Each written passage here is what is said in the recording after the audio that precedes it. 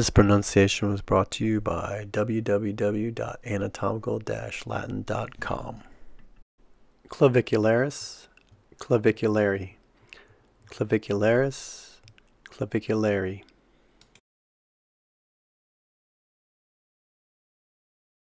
To learn the grammar and vocabulary of anatomical Latin, please go to www.anatomical-latin.com.